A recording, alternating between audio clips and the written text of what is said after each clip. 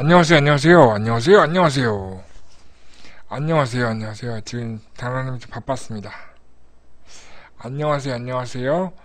BJ 뭉치 따라하는 정치자가 오늘 26번째 방송입니다. 4월 4일, 네. 내일은 4월 5일, 한식입니다, 한식. 한식이 무슨 날이죠? 한식은 찬밥 먹는 날. 찬밥 먹는 날. 찬밥에 라면이 최고입니다. 라면에다 찬밥 말아먹으면 최고죠. 예. 찬밥 먹는 날 한식이네요, 내일이. 오늘은 청명에서 청명. 예. 날씨가 덥더라고요. 무슨 날씨가 겨울에서 겨울에서 봄이 없이 여름을 바로 넘어갔어. 낮에 덥더라고요. 낮에 나갔다 왔는데 날씨가 덥더라고요.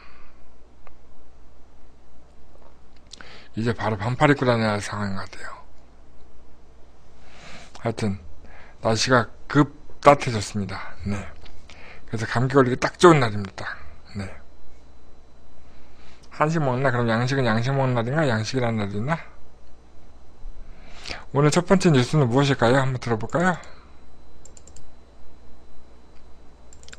첫 번째 뉴스, 짜잔! 짜잔!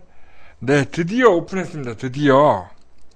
365일 24시간 열려있는 아 감기 걸렸구나 연합회님. 그러니까 날씨가 예 환절기는 감기 걸기 딱 좋아요. 감기 조심합니다.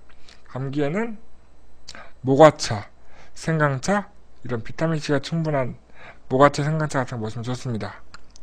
저희 카페 저희 건물 1층에 있는 카페에서는 수, 그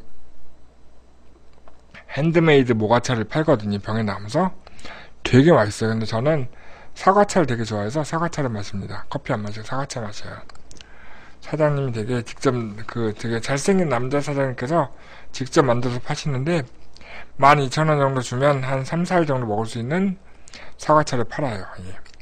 단 미리 주문해야 해요. 모과차는 오래 오래 보관할 수 있기 때문에 만들어갖고 일주일에 한 번씩 파는데 사과차는 만들면 주문하면 다음날 갖다 줘요. 매일매일 만들어서 갖다 주기 때문에 갑자기 사과차가 먹고 싶네요. 네. 그게 중요한 건 아니고, 예, 첫 번째 뉴스는 드디어 우리나라 최초의 1호 인터넷 은행이 오픈했습니다. 인터넷 은행이 뭡니까? 네. 지점이 없어요. 네. 우리가 흔히 하는 은행들은 뭐 기업은행, 우리은행, 신한은행 이런 데는 지점이 다 있잖아요. 지점. 네, 지점이 있는데 이거는 K뱅크라고 하는 인터넷 전문은행은 지점이 없고요. 스마트폰에서 어플만 깔면 가입할 수 있어요. 스마트폰에서 어플만 깔면 되고 어플만 깔면 24시간 365일 언제나 은행 거래가 가능합니다. 4월 3일날 정식 오픈했고요. 현금 인출은 GS25 편의점에서 바로 할 수 있대요. 그리고 그 인터넷 은행인 만큼 인터넷 KT도 같이 하는 것 같죠, 왠지? K, K뱅크라고 이름이 아, 코리아뱅크니까 KT는 아니고 KT랑도 하는 것 같아요. 그래서 KT나 GS 편의점, 네이버페이, 티몬 이런 거 제휴가 되어 있어서 은행 그 통장을 만들면 그 쿠폰을 주죠. 쿠폰을. K뱅크에 체크카드를 만들게 되면 그 전화요금 3만원 그 할인 쿠폰도 주는 것 같고요. 적립금을 주는 것 같고 지금 통장을 만들면 이벤트로 외제차 주는 이벤트를 합니다. 예, 카카오와 KT 간의 인터넷 은행 상업자 맞네요. 예. 근데 왜 네이버페이가 연결됐을까요? 카카오페이가 아니고. 되게 재밌는 건요. 이게 KT, K, K뱅크가 많은 사람들한테 사용이 되게 하려고 해서 얘네가 어떤 이벤트를 하고 있냐면요. 통장을 만들면 600만원짜리 마이너스 통장이 그냥 만들어져요. 예, 신청만 하면. 통장을 만들고 신용등급이 뭐 문제가 없으면 네. 네. 그 600만원짜리 마이너스 통장을 만들 수 있더라고요. 바로 10분만이면. 연리도 5.5% 되게 저렴한 예, 이자로 해서 만들 수가 있습니다. 그래서 그 K뱅크라고 하는 우리나라 최초의 인터넷 뱅크가 오픈했습니다. 첫 번째 뉴스입니다. 네. 네. 뉴스대로라면, 그 연리 4.19% 정도의 고정금리인 3천만원짜리 대출도 가능하다고 합니다. 네. 소상공인 대출보다 나쁘지 않네요. 다음 뉴스는요. 인천시도 사드로 지난번에 부산시인가요?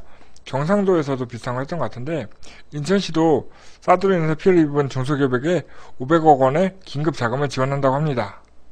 네. 얼마입니까? 보증기간은 5년 이내로 하고 보증연료 1% 1%대로 금액은 최고 5천만 원까지 가능하다고 합니다. 그래서 제 친구가 인천에서 여행사를 하고 있는데 연락이 왔다고 하더라고요. 그 사드 피해 있으면 중국인들이 사드 때문에 이제 안 오잖아요. 여행 여행을 안 오니까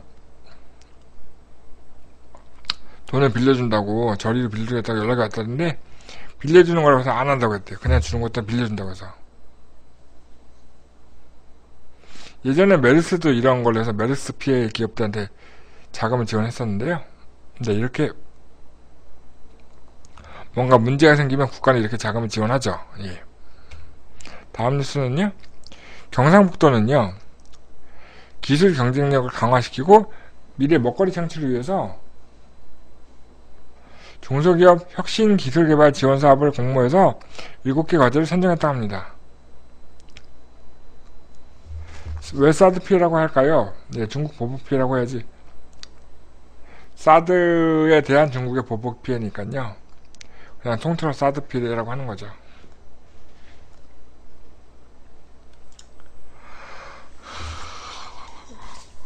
아, 하품. 어려운 얘기하니까 졸립잖아요. 경상북도는 그, 그 중소기업 혁신 기술개발 지원 사업을 공모해서 7개 업체 선정을 했고요. 기업당 5천만 원에서 5,500만 원 정도 지원하는 사업을 실시하고 있답니다. 네. 참고하시고요. 중소기업 중앙에서, 중앙회, 중소기업 중앙회에서는요, 조달시장의 부당 사례를 근절하기 위해서 직접 생산 확인 기준을 강화하기로 했습니다. 뭔 얘기냐면요. 조달시장이라고 있죠, 조달시장. 예. 조달청이라고 들어보셨죠? 나라장터, 예. 정부에서 물건을 구입하는 시장을 조달시장이라고 하지 않습니까? 조달시장에 입점, 그, 입점할 수 없는 업체들이 입점을 하는 것들이 사례가 좀 있었나 봐요. 어떤 사례냐면, 자기네는 실제 제조를 안 하는데, 제조한다고 뻥을 치는 거죠. 실제 제조 능력이 없는데, 어, 그, 제조도 안 하면서 제조한다고 뻥을 쳐서 공공 조달 시장에 참여하는 것을 차단하고 싶어서, 차단하기 위해서, 직접 생산하는지 여부를 확인할 수 있는 제도를 강화한다는 겁니다. 그래서 빵입니다. 빵. 서류상으로 직접 생산하는 것도 아닌데 다른 업체에서 생산하는 거를 OEM 방식으로 생산한다고 얘가 하청 생산이나 완제품을 구입해가지고 납품하는 데 그래서 부당 거래가 건절되지 않고 있어서 생산하는 것을 갖다가 어떻게 확인하느냐?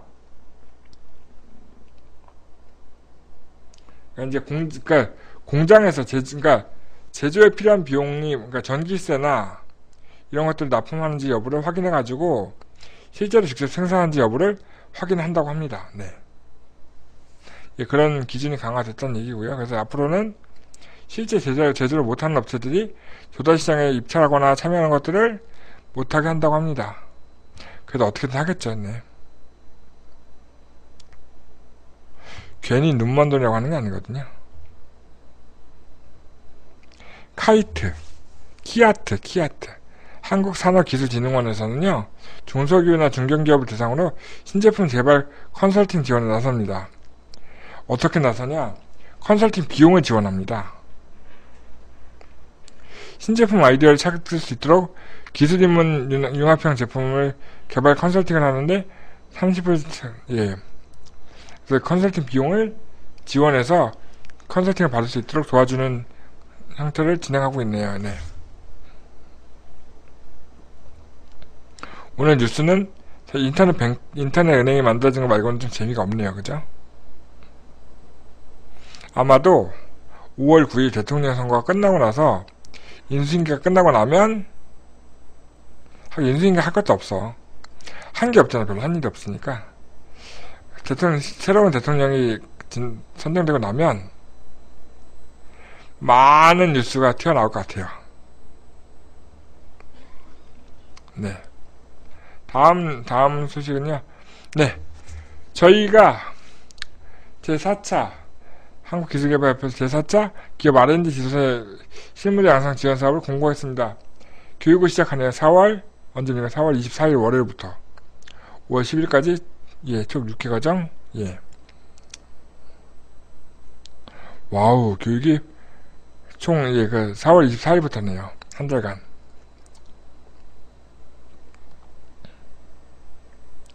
연합회님, 이번에 교육 안 들으시겠네요? 요, 떡볶이 하시네, 떡볶이 만드시냐고. 참, 떡볶이는 잘 팔리나요, 조스푸드? 네. 무슨 이벤트 하던데, 조스 떡볶이? 교육, 교육, 교육, 교육을 시작하니까 시험도 보겠죠, 그죠? 5월 30일 날 필기시험을 보고요. 6월 1일 날 실기시험을 봅니다. 그래서 또 새로운 아는 지도사들이 산출 나오겠네요. 예. 장사 잘 돼요. 어 맛있겠다. 조수떡볶이 가산동 배달됩니까? 안양에서?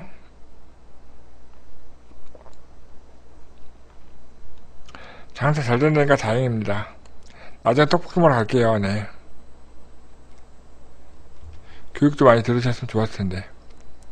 이렇게 우리 인연은 바이바이인가요? 아쉽네요. 네. 자, 다음 순서는 기업 소개입니다. 오늘 소개할 기업은 어떤 기업일까요? 짜잔! 어, 기업 소개를 한다고 하는데 웬 잘생긴 청각의 얼굴이 나오네, 그죠? 이친국 씨 아시는 분 계세요? 이분, 이, 이 사람 아는 분. 연합편이 얼굴 빨개졌어. 오늘 소개할 회사는 콩두 컴퍼니나 회사예요. 콩두 컴퍼니.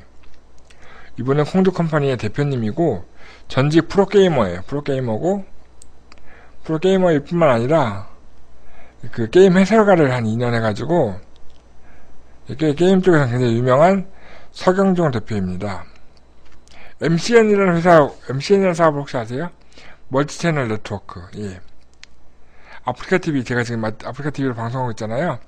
아프리카 TV나 유튜브로 방송을 하고 그 컨텐츠를 가지고 영상을 만들어서 그 영상 조회수가 높아지면 광고 수익을 벌어가지고 그걸로 돈을 버는 멀티채널 네트워크라고 하는 이런 방송 인터넷 방송 같은 그 인터넷 영상 같은 것들 모아서 하는 일종의 인터넷 사이버 인터넷 스타들의 엔터테인먼트 기업 같은 거죠.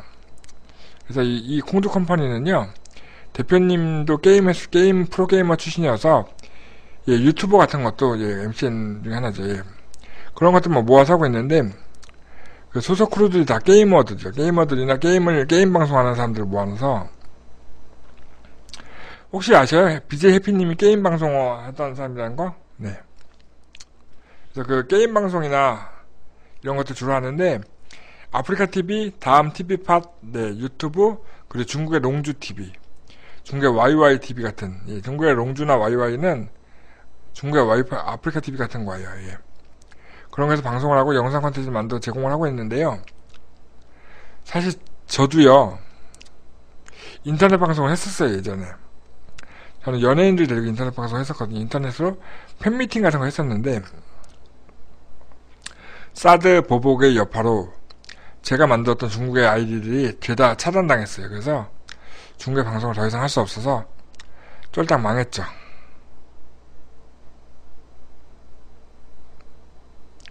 그때 사용한 장비가 지금 저 협판 쪽에 지금 죽수고 있습니다. 저걸 빨리 살려야 하는데. 근데 어쨌든 이 콩두 컴퍼니는요,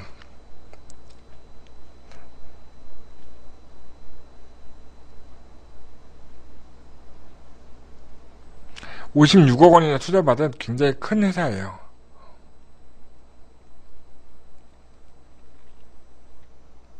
네, 지금은 이제 그 중국 쪽이 많이 막혀서 어떻게 하는지 모르겠는데요. 제가 들어본 회사들 얘기 들어보니까 중국에서 한국인들이 방송을 하면 안 된다고 그래서 중국인들 양성해가지고 중국 방송을 한다고 하더라고요. 중국인들이 중국에서 방송하는 건 아무 문제가 없거든요. 그래서 제가 아는 레이싱 모델 하나가 이 콩드 컴퍼니 입사했었거든요. 해가지고